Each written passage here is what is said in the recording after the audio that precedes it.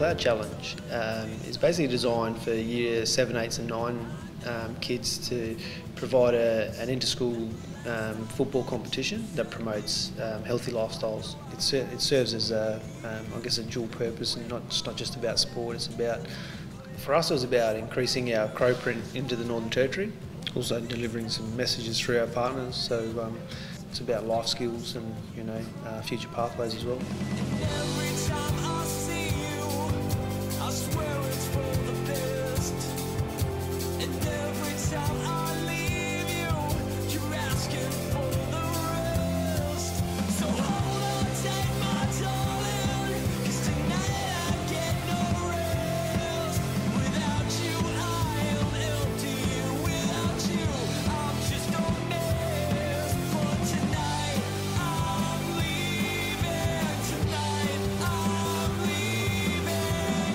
Had a great, great time in Alice. Um, this was our, our first one and something we were pretty excited about. We had uh, 10 teams competing and, and around 100 kids um, that were involved in the day.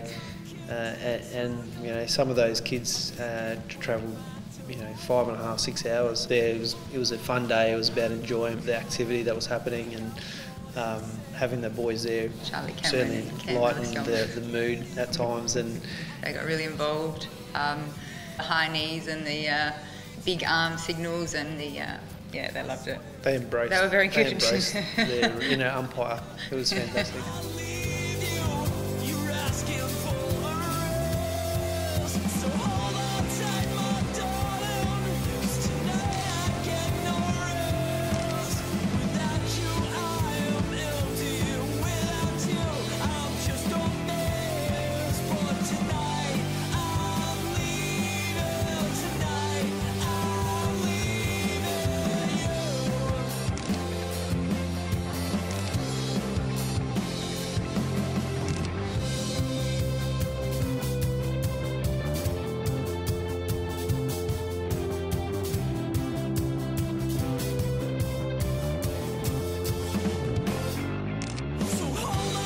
It's something that we're keen to make an, an annual thing, and I know that, that the um, AFLNT are, quite um, keen to do that as well.